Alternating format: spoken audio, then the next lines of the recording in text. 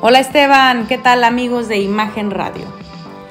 Gana Miss Holanda, una persona transgénero, es decir, los Países Bajos tienen una representante para el siguiente concurso del certamen de belleza Miss Universo, en donde se compite principalmente por la belleza de una mujer que represente a su país.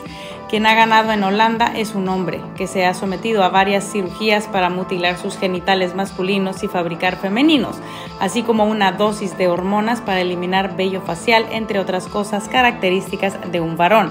Esta persona concursará en contra de los demás representantes de diferentes países como cada año, solamente que el resultado ha sido inusual, lo que ha dado mucho de qué hablar. Es importante mencionar que el nuevo dueño del certamen Miss Universo es Ann Hatupi.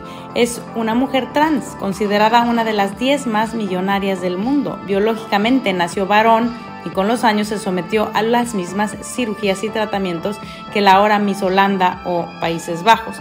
Según la revista Forbes, la empresaria de 43 años es parte de la lista de las 10 mujeres transgénero más ricas e influyentes del mundo, lo que hace de su historia de interés colectivo. Antes era Andrew, el hijo mayor de una familia tailandesa china, dueña de una tienda de alquiler de películas. Hoy Anne, quien está cambiando lo que el concurso Miss Universo era, diciendo que los cambios son para empoderar a la mujer, sin embargo, si ustedes revisan el discurso que pronunció el año pasado cuando adquirió la compañía, habla de mujeres y de poder, pero si vemos, no son mujeres las que están adquiriendo el mencionado poder, sino hombres que se han operado para, ser, para parecer mujeres.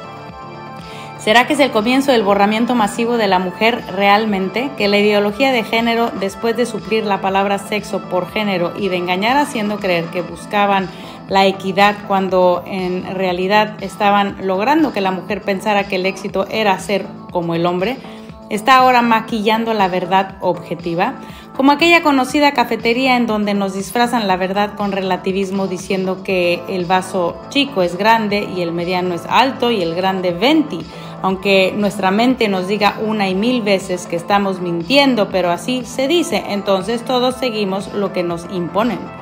Lo que es cierto, y citando al avanzado futurista George Orwell, es que la guerra es la paz, la libertad es la esclavitud y la ignorancia es la fuerza. Pero si quienes vemos la verdad objetiva en lugar de la subjetiva, logramos decir con libertad que dos y dos son cuatro, entonces si se nos concede esto, todo lo demás vendrá por sus pasos contados. Esteban, amigos de Imagen Radio, nos escuchamos pronto para no quedarnos atrás y ver hacia adelante.